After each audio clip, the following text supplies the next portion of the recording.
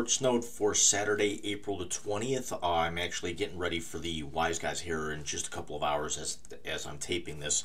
Uh, but this was definitely something I wanted to get out here as early as uh, Thursday morning when it when it really became official when I woke up and our long-standing nightmare in the NHL is over. No, the Boston Bruins are not being folded. No, Brad Marchand is not getting kicked out of the league. Uh, it's the failed experiment that's lasted for 25 years of hockey in the desert is temporarily over. Gary Bettman's child, namely the Arizona Coyotes, are officially no more. Now, I'm not going to sit here and, and revel and rag on um, the, the situation because I feel for the fans in Arizona. I really do.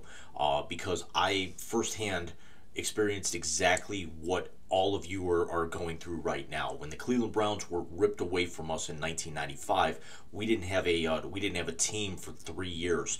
Now the the details uh, regarding our many more are coming out. It was a very, very fast moving story, uh, story, especially over the course of the last week here. Uh, but it's been something that's also been building for a, a number of months, if not the last few years, uh, really kind of taking on a life of its own.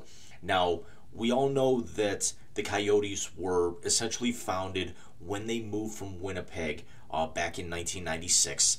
And the irony is that the Atlanta franchise, the Thrashers, came into the league around 1999 and then moved to Winnipeg after only 11 years. With the Coyotes now moving to Salt Lake City under the ownership of, of Ryan Smith, uh, the owner of the NBA's Jazz, the city of Utah is not going to retain the rights. That's actually going to be the the property right now of former Coyotes owner Alex Meruelo. Now Meruelo uh, was a minority owner of the franchise uh, with him, and I believe his name was John Barrowman. Um, I could actually also be mistaking that with the gentleman who played um, on the TV show Arrow, um, but I believe I am. Um, but Meruelo purchased controlling interest and the and the majority stake of the Coyotes back in 2019 for 300 million dollars and in turn now has sold the team to Smith for the cost of 1.2 billion dollars. Now that's a hell of a turnaround here in just a course of, of a few years considering the Coyotes have only made the playoffs one time in really the last decade and that was actually uh, a first round loss to the Colorado Avalanche in the 2020 COVID bubble after they had actually won an opening round series. Because remember, that's actually where the NHL sent 12 teams per conference to uh, the postseason and then also did a round robin of the top four teams for seeding purposes. It was a very exciting playoffs, uh, but then again, at that point, we were just hoping for anything. It was also the last time that some of these teams had actually made the playoffs, like in Arizona. Um, like a, like a Detroit for that matter. Um, it and yet Buffalo still couldn't actually make the playoffs, although they were I, they had a legitimate gripe because they still would have had games in hand when that season uh, was when the regular season was cut short. But that's neither here nor there. But the Coyotes have only made one conference final uh, in in franchise history in in 25 years in the deserts. Uh, went through a multitude of, of ownership changes, but the but the the more prominent thing is not so much the look of the team. We're going from the uh, the black and sand, um, you know, the Kachina look when they first came in, and then shifting to the uh, to the crimson and sand uh, of the of the howling coyote, uh, and then slowly but surely the Kachina comes back uh, a very very popular jersey. Certainly updating it with um, you know with with Reebok and Adidas uh, having you know the uh, the uniform contract with the NA uh, with the NHL and now uh, now going to be getting a new look yet again.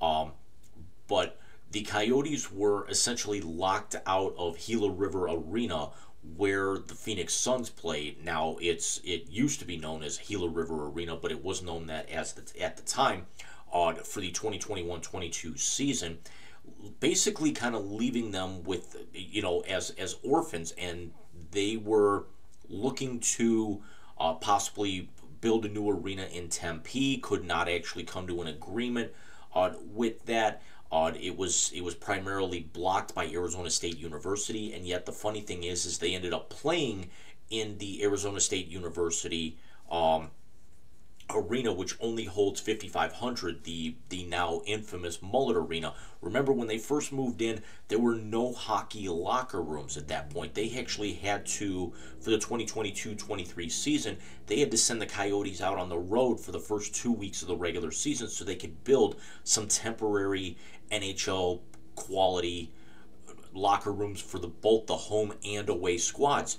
Um, it was again a 5500 seat arena it was far and away the smallest arena in the league it was even it was a fraction of what winnipeg was when they moved from atlanta to the mts center and were only uh, at that time it was known as the mts center now the canadian life center uh, which was only about on 14,000 and change. I want to say now that they've upgraded that to 15,000, uh, like 15.1 or 15.3, something like that. Still the smallest arena in the NHL, uh, at least for now, um, because with the Coyotes move, they are now going to be playing in the Delta Center where the Jazz play. Now that's the good news.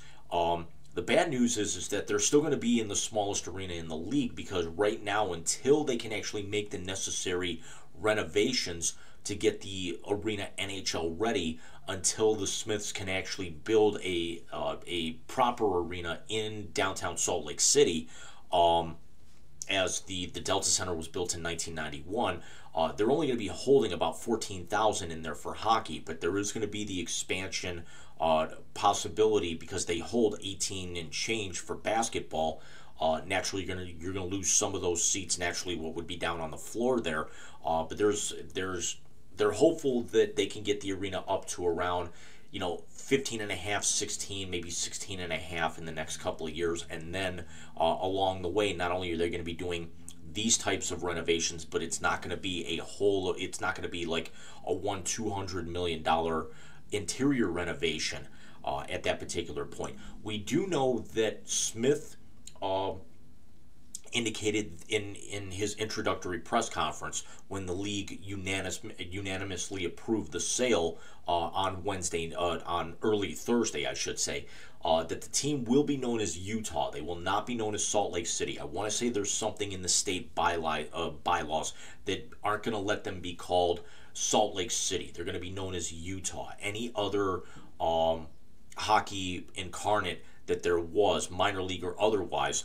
was always known as Utah. Uh, more specifically, uh, the Utah Grizzlies of the uh, of the ECHL, the IHL. I believe they were in the AHL for a little while, but they were always known as Utah. Uh, there were uh, there were arena football teams that were known as Utah. Uh, it's not known as Salt Lake City. It's one of those things where no matter where in the state that they play, uh, you know, they were going to be known as Utah because they were going to be the only pro sport team of uh, in that league in the state. Um, you're not going to put you weren't going to be able to put a team in Provo, uh, it which is a college town. Salt Lake City is is the fourth fastest growing market in the United States. So it definitely makes sense to be able to get the coyotes out of the failed experiment that is the desert and get them into a market that is flourishing. Now it's about 660 some odd miles away. I want to say it's 666, uh, you know, which actually would mean, wouldn't it be more apropos if the Devils were playing there? That's neither here nor there. There are probably more, uh, there's probably decent amount of Coyotes that are going to be in, um, you know, in Salt Lake City. Uh, but it's, uh, but Meruelo retains the Coyote name, the Coyote colors, uh, the Coyote records, which here's the funny thing about that is that he's going to retain the Coyote franchise records, which actually stem back to the original Jets.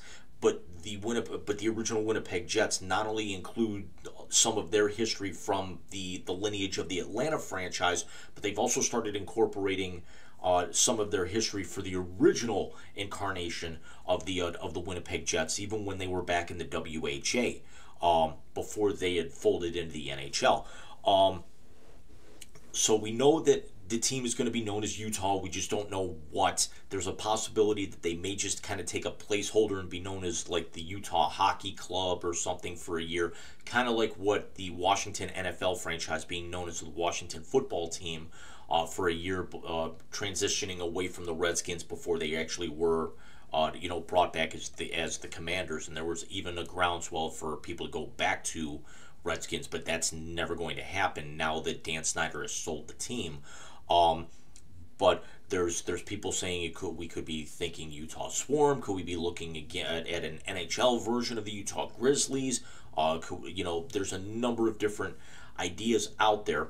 Uh, but the but the fact remains is that we've we've still got a 32 team league, uh, and now there's even more of a call for the NHL with with this uh, to be able to split into four divisions of eight. But there's a caveat to that.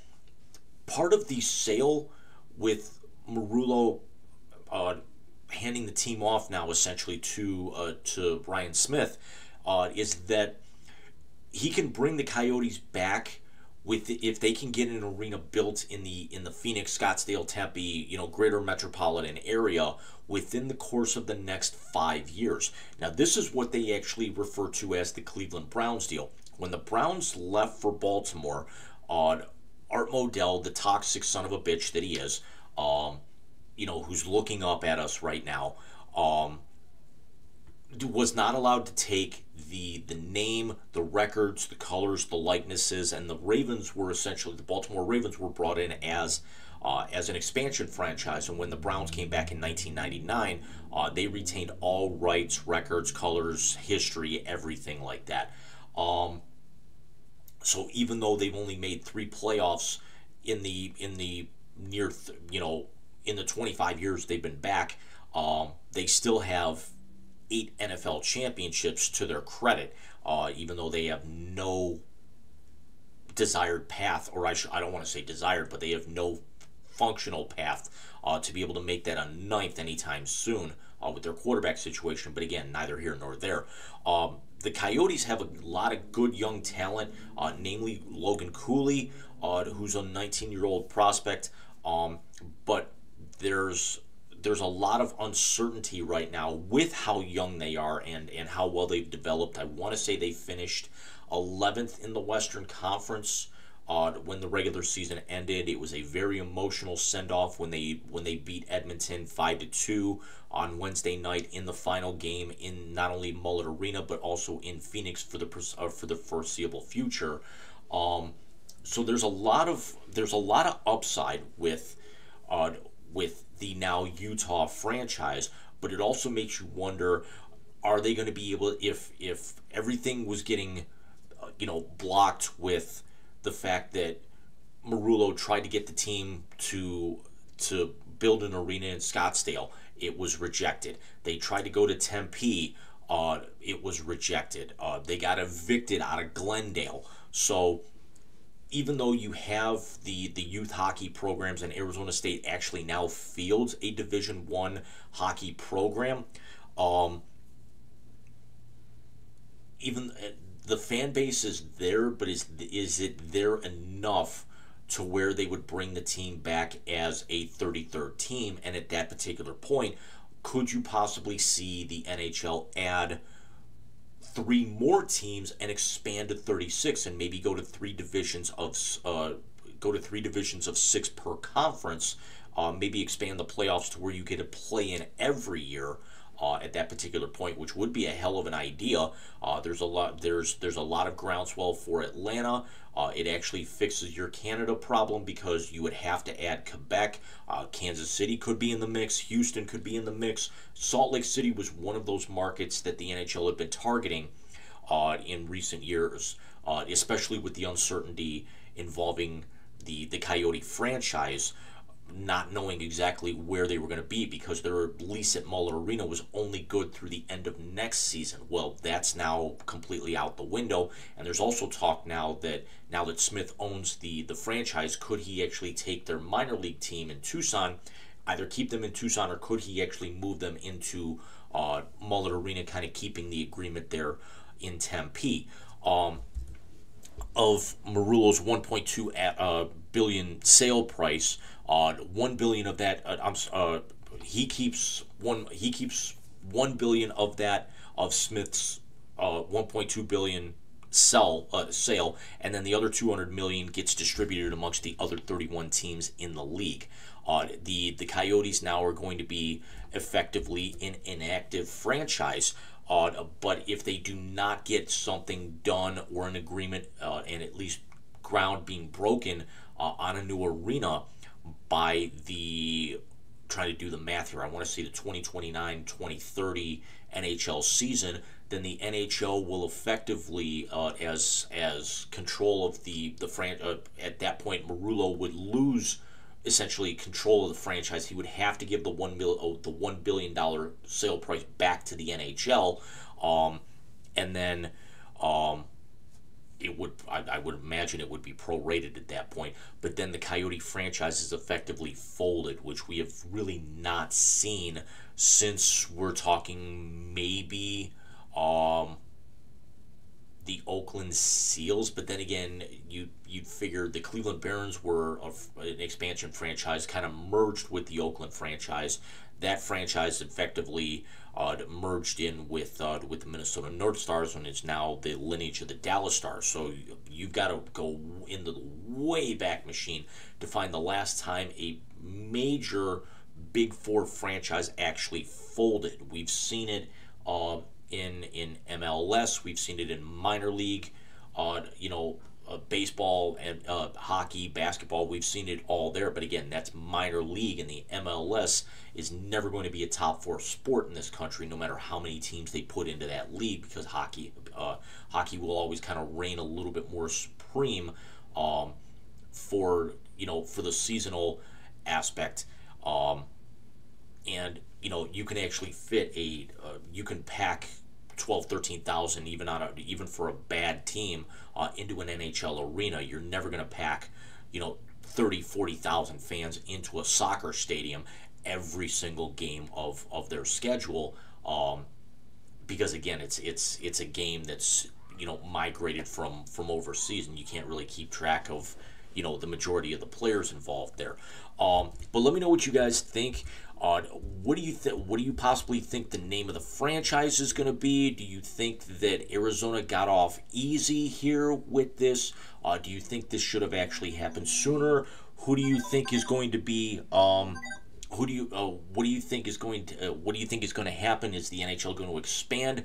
Uh, is is this something where? Uh, do they go to 34? Do they go to 36? Um, do you uh, do you think that uh, that they're going to stay and, and renovate the Delta Center, or do you actually think it's going to be something where uh, they're going to have to build a brand new arena, even though the uh, even though the Seattle State, uh, I'm sorry, the not the Seattle. Where am I thinking Seattle? Because they were the most recent team to come in.